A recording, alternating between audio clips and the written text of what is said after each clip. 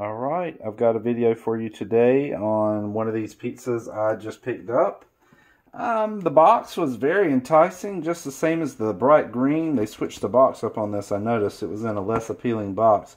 Now, just looking at it made me, you know, made me want to impulse buy it for some reason. They're really good and good with their marketing. Great value is. But this is the Philly cheesesteak pizza. It's going to come with creamy cheese sauce, mozzarella, provolone, beef, peppers, green, uh, excuse me, green peppers, caramelized onions, and it says made with real cheese. Um, so just like the other, um, it's going to be cooked at 425. I'm using this uh, oven that I've got preheated here.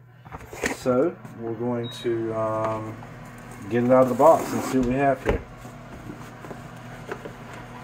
If you notice something else in the background, I've got something that I want to jazz it up a little bit. Oh, that doesn't look bad. Look at that.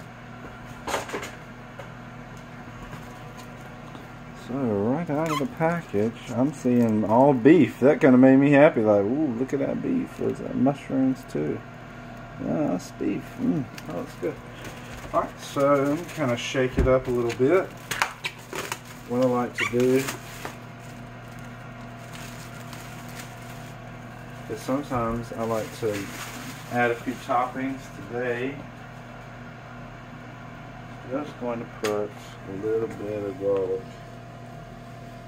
powder. This is a Philly cheesesteak pizza. And then I have these string cheese. These are always fun.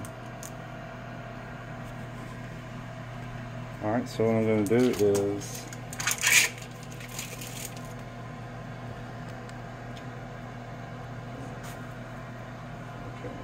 going to pull off tiny little pieces.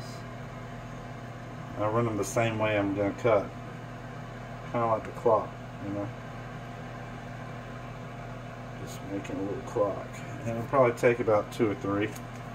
But man, I found whenever, and you can do it without it. You know, you don't have to add this. I like it. The cheese is the, the flavor, the quality of this cheese. It was made by a company, I think it's called Fuego or Fuego, but it's cheese heads. And that sound means it's preheated. So I'm adding my strips.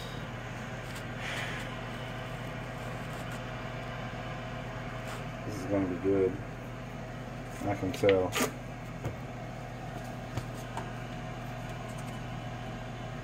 Okay, I think I'm going to do one more and then we're going to throw it in the oven. I was impressed by the amount of meat that's up here. I think that's a good value. Or excuse me, a great value.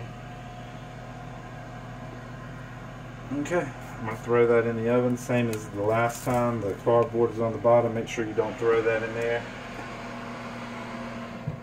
And we're just going to let that cook. And I will let you know what the finished product looks like. Thank you for watching.